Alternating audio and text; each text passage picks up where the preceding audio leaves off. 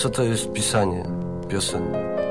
Albo się pisze, albo się nie pisze. To jest ta sprawa. Jeżeli się jest w człowieku, to, to dobrze jest to przelać na papier czasami.